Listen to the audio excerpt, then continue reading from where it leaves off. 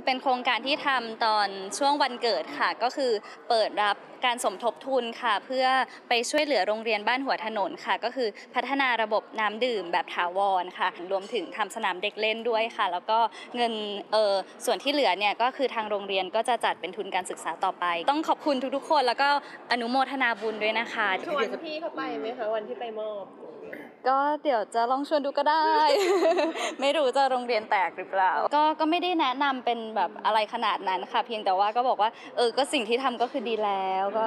ทำต่อไปมาร่วมทำโปรเจกต์สักโปรเจกต์หนึ่งเออรวมช่วยเหลือกันขับเออถ้ามีโอกาสก็อยากจะทำนะคะอืมหวานกันเรื่อยๆในไอจี ตีกันหรือเปล่าคะตีกันเรื่อยกันบ้างเขาเบอร์อ๋อ ก็ใช่อะ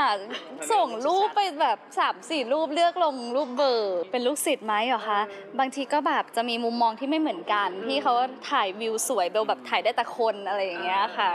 เขาก็จะแนะนำบ้างหลังๆพอแซวกันในไอจีเยอะคนเขาก็มองว่าเอ้ยเนี่ยเบลแบบเปลี่ยนพี่เวียจากแบบพึกเหิมเป็นแบบแมวน้อยไปแล้วตอนนี้อยู่ในโอวาทคือเบลว่าพี่เขาอาจจะแบบว่า